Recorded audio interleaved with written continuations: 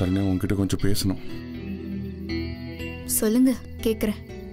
உன் வாழ்க்கையில் இப்படியெல்லாம் நடக்கணும் நான் எதிர்பார்க்கல சரண்யா. அதை நினைச்சு எனக்கு ரொம்ப வருத்தமா இருக்கு. ஆனால் நான் எப்பவுமே எல்லார்கிட்டையும் உண்மை சொல்லணும்னு நினைப்பேன். அது யாரை எவ்வளோ கஷ்டப்படுத்தாலும் சரி அதை யாரை எவ்வளோ சந்தோஷப்படுத்தாலும் சரி அதை பற்றி நான் கவலைப்பட மாட்டேன்.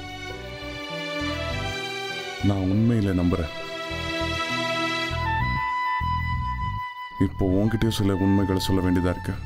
நான் ஒன்றும் உங்களை ஆசைப்பட்டு கல்யாணம் பண்ணிக்கல. அதனால உங்க உண்மை என்னை ஹர்ட் பண்ணாது. சொல்லுங்க. உனக்கு சத்தியா தெரியும்ல? நம்ம கல்யாணத்துக்கு கூட வந்திருக்காங்கல்ல? நீ தான் அவங்கள பாத்திய? உன்னை சென்னையில் பார்த்ததுக்கு அப்புறம் அவங்கள ஹரித்வாரில் சந்திச்சேன். பேசணும் பழகணும் ஒருத்தருக்கு ஒருத்தர் பிடிச்சி போச்சு. கல்யாணம் பண்ணிக்கலாம்னு முடிவெடுத்தோம்.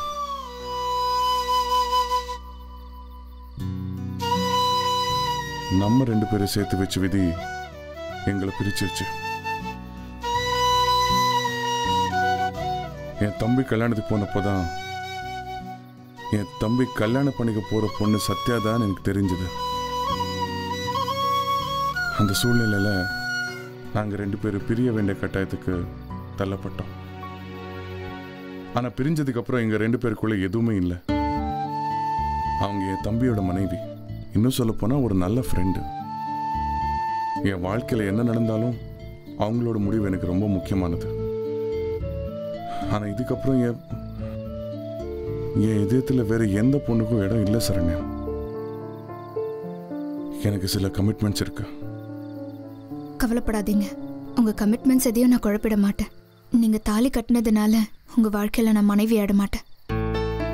இது ஒரு அண்டர்ஸ்டாண்டிங் கல்யாணம். அவ்வளோதான் இப்போ இந்த உண்மையெல்லாம் தெரிஞ்சு நான் என்ன பண்ண போறேன்?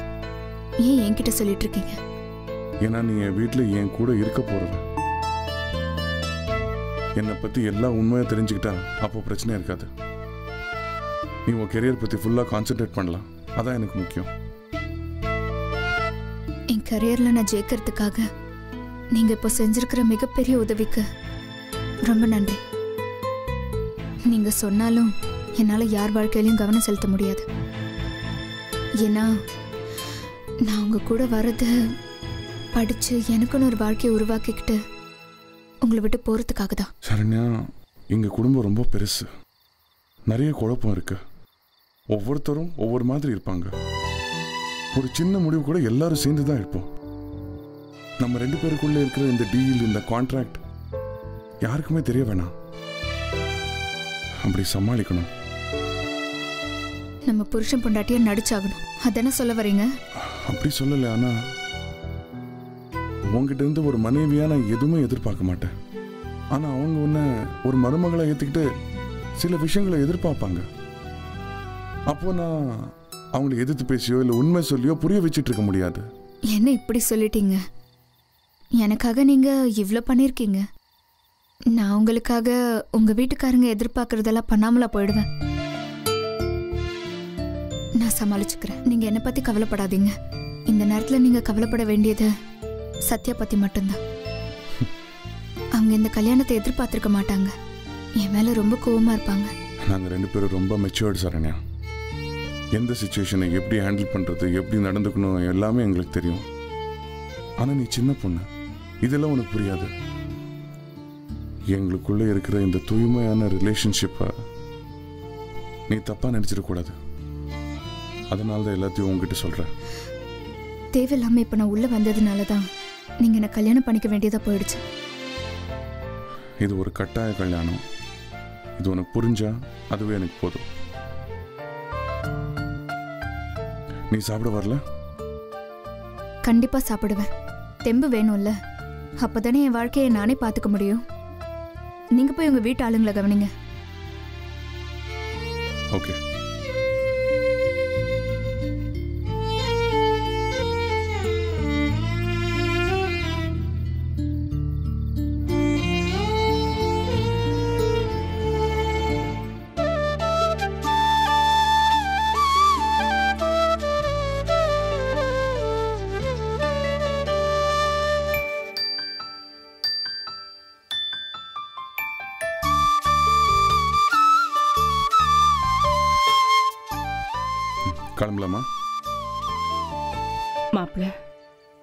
மனசுல கோவத்தை வச்சுக்காதீங்க. என் பொண்ணு ரொம்ப நல்லவ. நீங்க அவளோட சேர்ந்து வாழும்போதுதான் நாங்க உங்களுக்கு பண்ண நல்லது உங்களுக்கு புரியும். சார் உங்க மனசை கஷ்டப்படுத்துற மாதிரி நான் நடந்திருந்தா என்னை மன்னிச்சிடுங்க சார். நீங்க கோவத்தை எங்க மேல காமிங்க? சரண்யம்மா மேல காமிச்சிடாதீங்க. ம். நீங்க ரெண்டு பேரும் சந்தோஷமா இருக்கணும். அதுதான் எங்க எல்லாரோட ஆசையும். எல்லாரும் வெயிட் பண்ணிட்டு இருக்காங்க. நாங்க கிளம்பணும். மாமா பழகுன ஊரு கூடவே இருந்த மனுஷங்க இவங்கெல்லாம் பெத்தவங்க மாதிரி இருக்கவங்க. இவங்க எல்லாரையும் மறந்துட்டு புதுசா ஒரு வீட்டுக்கு போறது சாதாரண ஒரு விஷயம் இல்ல மாமா.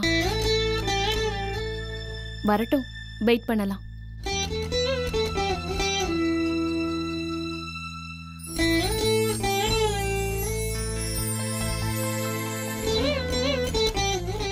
என்னடா? என்கிட்ட பேசாமலே என்கிட்ட சொல்லாமலே போயிடுவியா? ஏண்டா? நான் உனக்கு வேண்டாமா? நான் இந்த முடிவை பண்ணனா? நீ தானே நான் இந்த ஊரை விட்டு போகணும்? உங்களெல்லாம் மறந்துட்டு சந்தோஷமா புது வாழ்க்கையை வாழணும்னு முடிவெடுத்த? இப்போ இப்படி கேட்குற நான் எப்படி எங்க அப்பாவுக்கு பிடிச்ச ஊரையும் எங்க அப்பாவுக்கு பிடிச்ச மனுஷங்களையும் விட்டுட்டு போகணும்னு நினைப்பேன்? நீங்க எல்லாம் சேர்ந்து என்ன துரத்தி விட்டுட்டீங்க. இல்லடா. ஆமா. நான் இனிமே இந்த ஊர் பக்கமே வரமாட்டேன். உங்க யாரையும் பார்க்க மாட்டேன். சரண்யா நீ இல்லாம என்னால எப்படி மறக்க முடியும்? என் முந்தானையை பிடிச்சுக்கிட்டே சுத்திக்கிட்டு இருந்த பொண்ணு திடீர்னு இல்லைன்னா என் நிலைமை என்ன ஆகுன்னு யோசிச்சு பாத்தியா? நான் ஏன் இந்த முடிவு எடுத்தேன்? நீ நல்லா இருக்கணும்னு. பொசுக்குன்னு என்ன தப்பா நினைச்சிட்டியாடா? ஏடா நான் அப்படியா?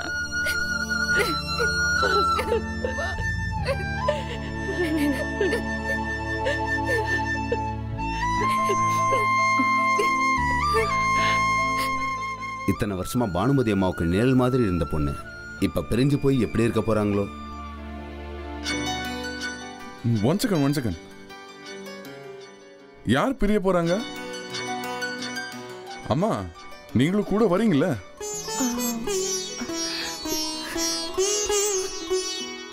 உங்களால தானே சரியானவ நல்லபடியா பாத்துக்க முடியும். சின்ன பிள்ளைல இருந்து நீங்க தானே கூட இருந்திருக்கீங்க? இல்ல மாப்ள பொண்ணை கட்டி கொடுத்துட்டு அங்கேயே வந்து உட்காந்துருந்தா நல்லாவா இருக்கும்? இது பாருங்கம்மா. இத்தனை நாள் கூப்பிட்ட தம்பின்னு கூப்பிடுங்க இல்ல பேர் சொல்லி கூப்பிடுங்க. இந்த முறையெல்லாம் வேணாம். அது எப்படிங்க உங்களை தம்பின்னும் பேர் சொல்லியும் கூப்பிடுறது? நீங்க வேணா இங்க நடந்த சடங்கு சம்பிரதாயத்தெல்லாம் மதிக்காம இருக்கலாம். ஆனா நாங்க எங்க வழக்கத்தை மாத்த முடியாது மாப்ள மா சார் சொல்றதம்மா கரெக்டு நீங்க உங்க கூட சென்னைக்கு போய் இருந்து சரண்யா அம்மாவுக்கு நல்லது கெட்ட சொல்லி கொடுத்து சாரு கிட்ட எப்படி நடந்துக்கணும்னு புரிய வச்சுட்டு அப்புறமா வேணா இங்க வாங்கம்மா. இப்போ நீங்க வரீங்களா இல்லையா. எல்லாரும் வெயிட் பண்ணிட்டு இருக்காங்க கிளம்பலாம் மாப்ள நானும் வரேன். என்னங்க நீங்க போய் சத்யாக்காவை கூட்டிட்டு வாங்க. நான் இவங்க கூட வரேன். சரி.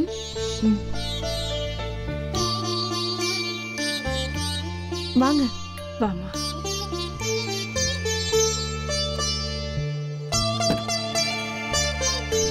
போயிட்டு வரேன். சரிங்கம்மா.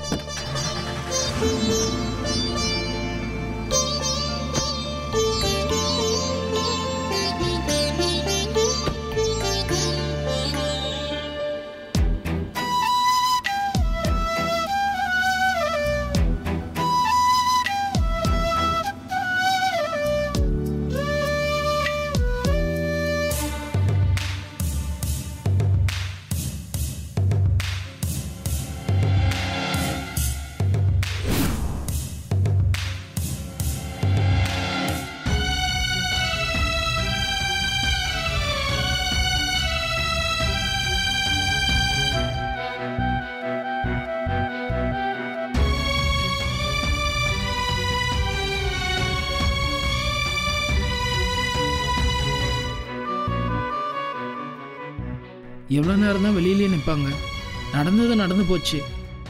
இதுக்கப்புறம் எதுவுமே நம்ம கையில் இல்லை. அவங்கள ஆரத்தி எடுத்து எல்லாரும் சந்தோஷமாக உள்ளே கூப்பிடுங்க. பெரியம்மா நீங்கள் தான் இந்த வீட்டுக்கு பெரியவங்க. நீங்கள் சொன்னாதான் இங்கே உள்ள எல்லாருமே ஏற்றுப்பாங்க அவங்கள ஆரத்தி எடுத்து உள்ளார கூட்டிட்டு வாங்க.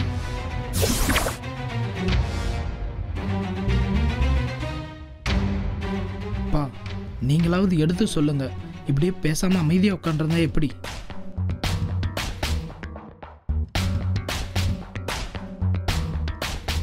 கல்யாணம் என்னமோ நடந்து முடிஞ்சு போச்சு. ஏதோ அவன் இருந்த சுச்சுவேஷன் அப்படி. நம்ம யார்கிட்டயும் எதுவும் சொல்ல முடியல.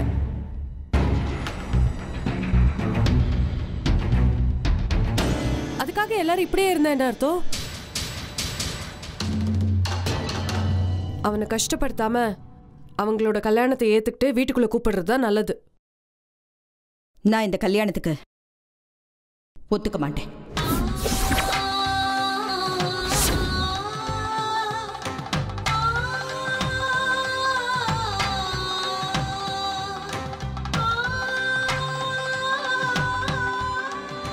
நம்ம குடும்பத்துக்குன்னு இந்த ஊர்ல ஒரு மரியாதை இருக்கு கௌரவம் இருக்கு. அதை எல்லாத்தையும் காத்துல பறக்க விடுற மாதிரி. நீ நடந்துப்பேன்னு நான் கனவுல கூட நினைக்கல.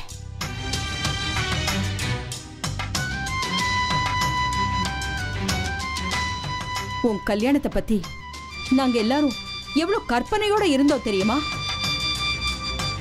ஆனா இன்னைக்கு எங்கிருந்தோ ஒருத்தைய கூட்டிட்டு வந்து எங்க எல்லாருடைய கனவுலையும் மண்ணள்ளி போட்டுட்டு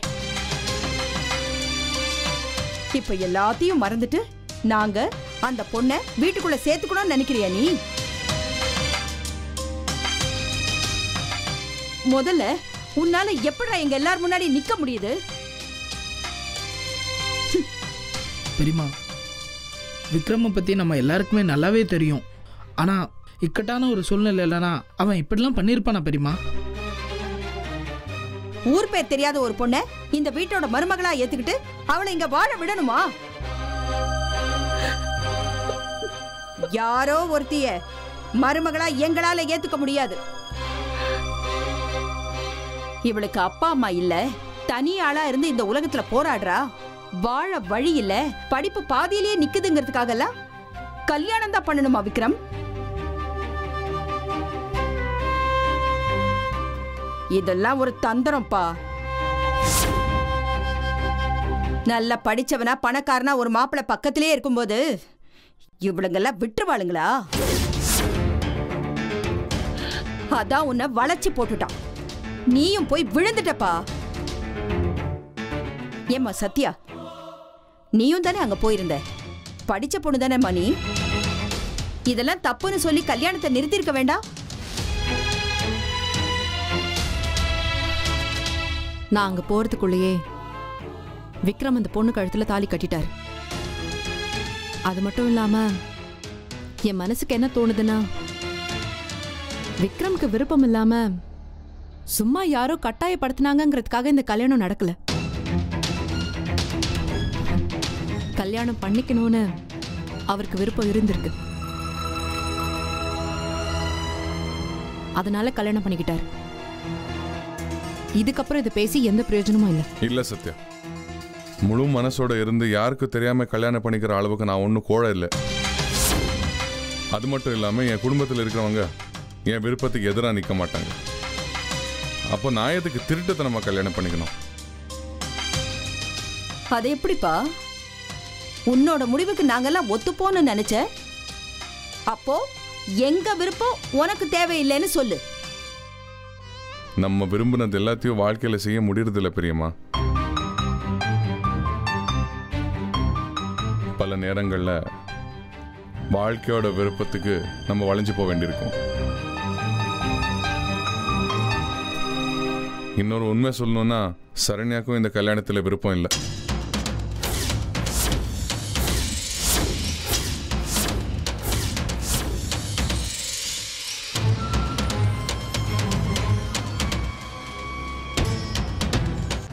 நெஞ்சம் மறப்பதில்லை. ஒரு சிறிய இடைவேளைக்கு பின் தொடரும்.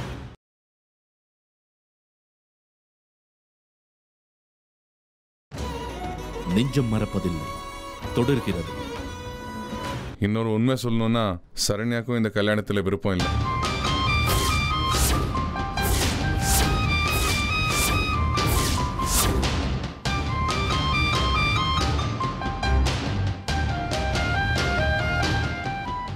நான் இந்த வீட்டோட பையன். அதனால எல்லாரும் என்னை பற்றி தான் யோசிக்கிறீங்க. ஆனால் சரண்யா பற்றி யாருமே யோசிக்க மாட்டேங்கிறீங்க. அவளை உயிருக்கு உயிரை பெத்து வளர்த்த அப்பாவை இழந்துட்டு நிற்கிறான் இனிமே அவள் எங்க போவான் அவளோட வாழ்க்கை என்ன ஆகும்? அவளோட எதிர்காலம் என்ன ஆகும்? எல்லாத்தையும் மனசுல வச்சுக்கிட்டு தான் நான் கேட்டிங்களா கொழுதனாரு இந்த கல்யாணத்துல இவங்க ரெண்டு பேருக்குமே விருப்பம் இல்லையா கேட்கறவங்க கொஞ்சம் ஏமாந்தவங்களா இருந்தா கேப்பையில நெய் வடிதுன்னு சொல்லுவாங்களாம். இதெல்லாம் நாங்க நம்பிட்டு வாமா மருமகளேன்னு வீட்டுக்குள்ள கூப்பிட்டு இவளை அழகு பார்க்கணும். இத பாருப்பா. நீ என்ன சொன்னாலும் நம்ம குடும்பத்துக்குன்னு ஒரு தராதரம் இருக்கு. சாக்கடை எல்லாம் அவ்வளவு சீக்கிரம் உள்ள கலந்துட முடியாது.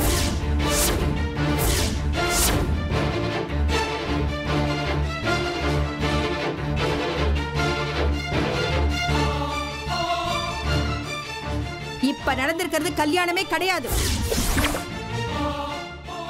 ஏமாத்து வேலை. இத நாங்க ஏத்துக்கவே முடியாது. அம்மா நான் உங்களெல்லாம் கையெடுத்து கும்பிடுறேன். தப்பா பேசாதீங்க. இந்த வீட்டுக்கு வாழ வரப்போற பொண்ணு மேல விடுற சொல்லு. இந்த குடும்பத்து மேலே விடுற மாதிரி தான் எங்க பொண்ணு ரொம்ப நல்லவ. உங்க குடும்ப கௌரவத்தை கட்டி காப்பாத்துவா. உங்க எல்லார் முன்னாடி வாக்கு கொடுக்கறேன். எங்க பொண்ணு நல்லபடியா நடந்துக்குவா.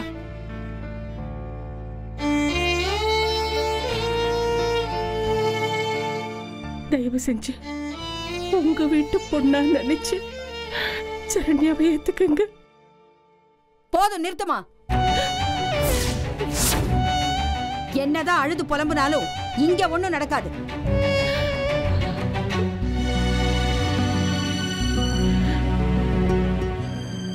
புது பொண்ணு மாப்பிள்ள வந்தாச்சா?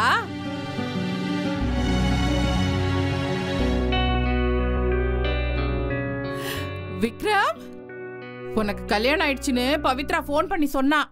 எனக்கு உன் மேல கோபம். ஆனா இப்போ இல்ல. உனக்கும் எனக்கு ஒரே மேடையில தான் கல்யாணம்னு பேசிக்கிட்டோம்ல. இப்ப நீ மட்டும் கல்யாணம் பண்ணிட்டு வந்து அத்தையை ஏமாத்திட்டல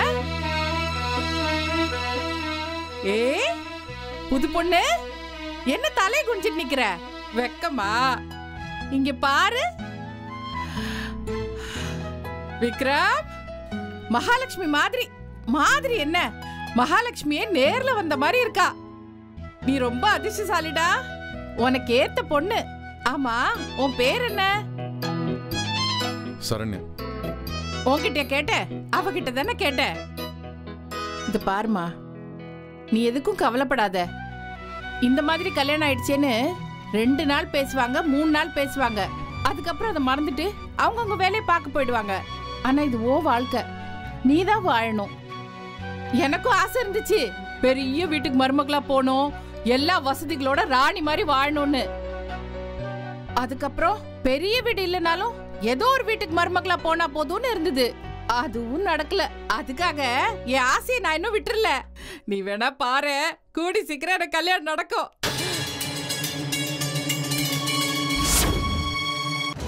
நெஞ்சம் மறப்பதில்லை. ஒரு சிறிய இடைவேளைக்கு பின் தொடரும்.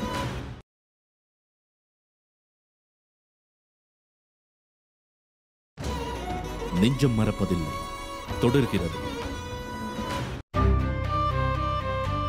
இது பாருமா உன்ன மாதிரி ஒரு பொண்ணை யாராலையும் வெறுக்கவே முடியாது.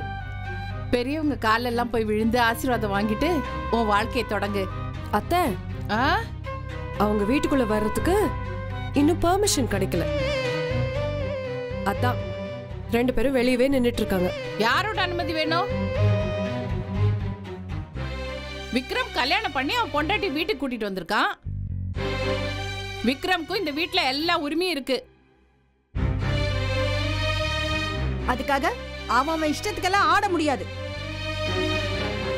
எல்லாரோட விருப்பத்துக்கு ஏத்த மாதிரி தான் இருக்கணும். அவன் அவன் பொண்டாட்டிய கூட்டிட்டு போய் எங்க வேணாலும் போய் இருக்கட்டும். அவனுக்கு மட்டும்தான் இங்க இடம். இன்னும் இப்படியே பேசிட்டு இருக்கிறதுனால எந்த பிரயோஜனமும் இல்லை. நடந்த எதையுமே நம்மளால இனிமே மாத்த முடியாது.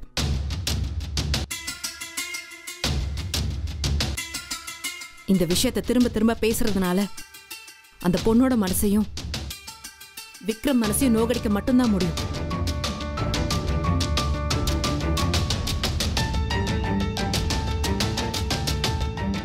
புதுசா கல்யாணம் ஆனவங்கள இப்படி வாசலே நிக்க வச்சு பேசுறது வீட்டுக்குள்ள வரக்கூடாதுன்னு சொல்றது கூட நம்ம குடும்ப கௌரவத்துக்கு எதிரானதுதான். உங்க முடிவை தயவு செஞ்சு மாத்திக்கங்க.